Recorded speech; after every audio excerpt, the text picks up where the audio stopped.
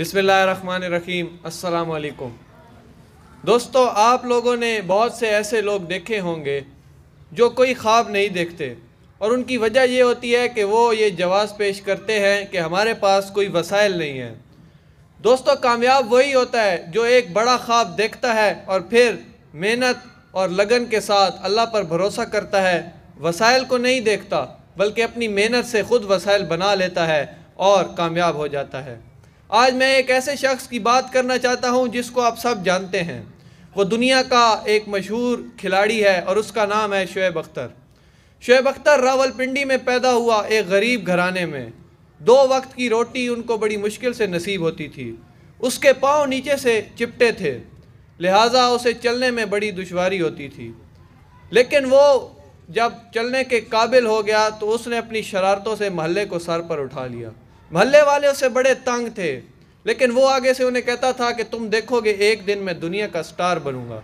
तो महल्ले वाले उसका मज़ाक उड़ाते थे कि दो वक्त की रोटी तो इनको बड़ी मुश्किल से नसीब होती है, ये क्या स्टार बनेगा? उसके पास कोई वसाइल नहीं थे, नहायत गरीब था, लेकिन उसका ख्वाब बड़ा था। उसका ये ख्वाब था कि वह दुनिया की तेज़ तरीन गेंद कराएगा। तो क्या हुआ? उसके पास कोई वसाइल नहीं थे। लाहौर में एक टीम के ट्रायल्स हो रहे थे।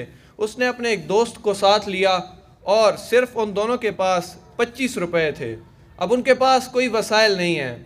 ना उनके पास लाहौर में रहने की जगह है, ना खाने पीने के लिए है कुछ और ना ही बस का किराया है।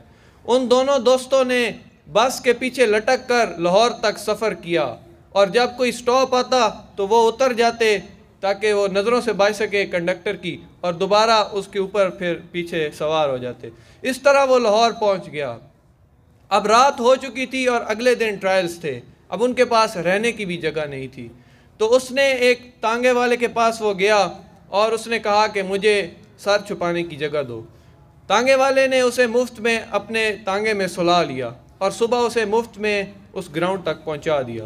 तो ऐसे उसका कोई ख़ास ख़र्चा भी नहीं हुआ। उसके पास वो पच्चीस रुपए भी महफूज रहे, जिससे उसने कुछ खाना पीना खा लिया। लेकिन जब वो ग्राउंड में पहुँचा तो उसे गेंद कोई देने को तैयार ही नहीं था। उसने क्या किया? उसने ग्राउंड के गिर्द दौड़ना शुरू कर दिया। जब उसने तीन चार चक्कर लगाए तो एक कोच ने उसे बुलाकर पूछा कि, पागल हो क्या? सुबह से भाग रहे हो? तो उसने कहा, मैं बहुत तेज़ गेंद करा सकता हूँ, मेरा नाम शुएब अख्तर है।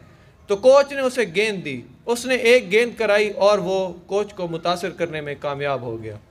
अब वो सिलेक्ट हो चुका था। लेकिन शुएब अख्तर का कैरियर बहुत से बैंस पर खड़ा था। वो बार बार खिलाड़ियों और कोचेस के साथ लड़ाइयाँ करता था और फिर उस पर पाबंदी लग जाती थी। अभी शुएब अख्तर एक नया खिलाड़ी था, जिसे कोई नहीं जानता था। अभी वो स्टार नहीं बना था, ना ही वो तेज़ तरीन गेंद कराई थी उसने अभी।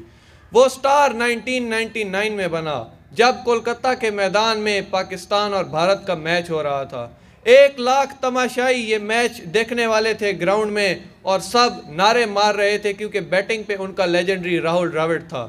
बॉल शुएब अख्तर के हाथ में थी और शुएब अख्तर ने पहली ही गेंद पर उसकी विकेट ले ली और इंडियन तमाशाइयों पर खामोशी तारी हो गई। लेकिन ये खामोशी चंद सेकंड्स के लिए ही थी, क्योंकि उन्होंने सचिन तेंदुलकर को मैदान में आते देखकर दोबारा से नारे लगाने शुरू कर दिए। अब शुएब जब शुएब अख्तर के सामने सचिन तेंदुलकर आया तो उसने उसे भी पहली ही गेंद पर बोल्ड कर दिया और एक स्टार बन गया। जब वो इंडिया से वापस आया तो आवाम की एक बड़ी तादाद ने उसका इस्तकबाल किया और वो एयरपोर्ट से सीधा उस तांगे वाले के पास गया और उसका शुक्रिया अदा किया। लेकिन अभी शुएब अख्तर का तेज़ तरीन गेंद कराने का मिशन जो था, वो अभी पूरा नहीं हुआ था। उसका वो मिशन 2003 में पूरा हुआ, जब उसने 100 मील फ़ी घंटा की रफ्तार से गेंद कराकर एक रिकॉर्ड कायम किया जो कि आज तक कायम है। तो दोस्तों, शुएब अख्तर की कहानी से हमें यह सबक मिलता है कि वसाइल कुछ नहीं होते, सिर्फ़ आपका ख्वाब, आपकी मेहनत, अल्लाह से आपका मांगना सब कुछ होता है। जब आप ये सब करते हैं तो अल्लाह ख़ुद वसीले बना देता है और आप कामयाबी से हमकिनार हो जाते हैं। शुक्रिया।